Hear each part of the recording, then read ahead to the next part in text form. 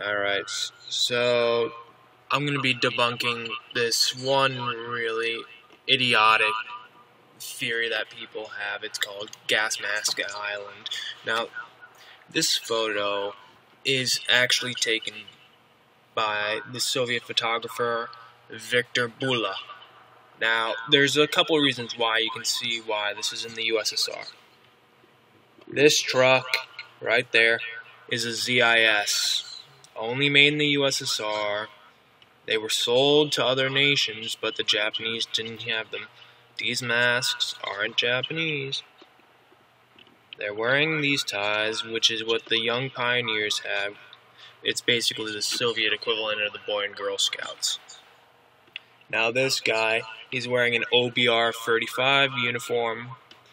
Japanese didn't have it, plus he has a star on it. There's these. These are basically the on the top of the pole as the hammer and sickle of a star. Red banners.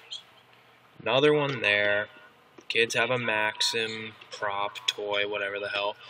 So yeah, this is obviously in the USSR. This one's also given, but this one's in the UK. Obviously, the kids in the background are white, so this is in Japan. Just gonna find the other one. This one is British. Enfield SMLE, puttees, service dress cap, these chevrons, this type of mask. This, I believe this is interwar or early World War II, like 1939. But I could be wrong. I think this is interwar. Then this one. I think this is an artist's project, or it could be from Cotter